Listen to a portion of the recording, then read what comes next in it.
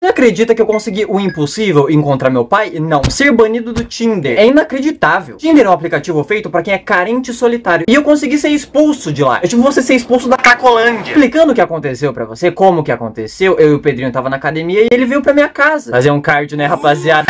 Brincando, ele já quebrou minha cama há muito tempo. Não é nem piada isso, tá? Tá me devendo um colchão novo. Mas o Pedrinho veio na minha casa e me mostrou que ele tinha o Tinder Plus. Que me impressionou, né? Porque assim, nem fala com as minas que ele tem no Tinder. O cara gastou dinheiro com isso ainda. Igual pediu um iFood e sair de casa. Você gasta 40 conto e não come nada. Mas explicando por que isso acontece, que ele tem 1,60 de altura. A mina, meio que quando descobre isso, para de falar com ele. Esse jeito é meio difícil não ser Red Pill, entendeu? Como que o Gabriel Breyer não vai entrar na cabeça desse moleque? Como que o Super Xandão não vai convencer ele a tomar Red Pill? Só que mesmo assim, ele usa o Tinder. Ele dá like nas minas, ele recebe match e hum, é isso. Ele não fala com elas, não faz nada. Mas as minas até chamam ele, mas ele não conversa com elas. Ele ignora. Só pra aumentar o ego dele. Só pra ele ver as minas lá e pensar, hum, bonitinha. E deu like em mim ainda, né? Ah, se eu fosse 20 centímetros mais alto. Mas daí com o Tinder Plus que ele tem, você pode ver as minas ou as pessoas de qualquer lugar do mundo. Eu descobri, né, assim, por acaso, no Google, o país que tem mais ruiva é a Escócia. E a gente foi dar like nas minas da Escócia, né? Porque eu também não sou trouxa. Também descobri que a Finlândia é o país com mais loira do mundo. Ah, mas você nem mora lá. Fazer o que, né, amigo? Mas vai que eu vou. Vai que eu vou dar, dar uma viajada por lá. Dar uma de mamãe falei, vou viajar pra Europa pra comer loira. É,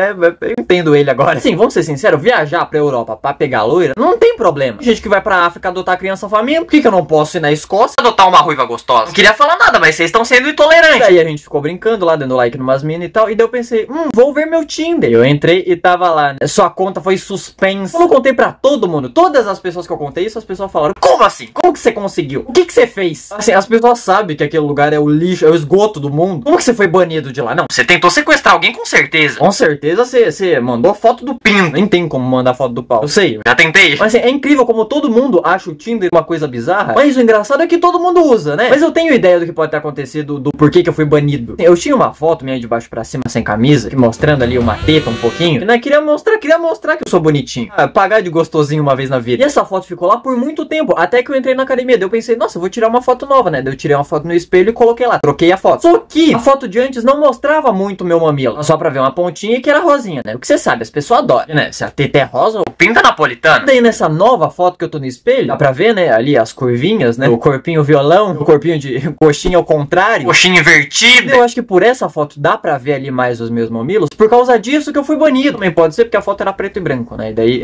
só é permitido teta rosa. Não for o mamilo rosa, fora. Isso, descobrimos. O Tinder é racista. Acreditável, eu não posso mostrar o mamilo no Tinder. Que no Instagram eu mostrei meu pin, não aconteceu nada. Acho que isso é perseguição. Até já aconteceu de eu no Tinder mesmo ver pessoas literalmente quatro com o celular apontado no meio do e a pessoa só com uma calcinha ali e nada acontece. Mas o Assolan, o Assolan não pode, né?